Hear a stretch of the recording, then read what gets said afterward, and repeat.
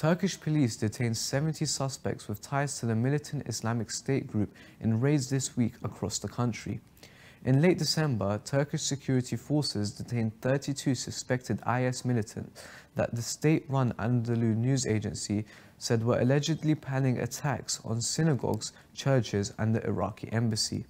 The group has carried out a string of deadly attacks in Turkey over the last decade, including on January 1, 2017, that killed 39 people during New Year's celebrations, and the bombing of a peace march in Ankara in October 2015 that killed some 105 people.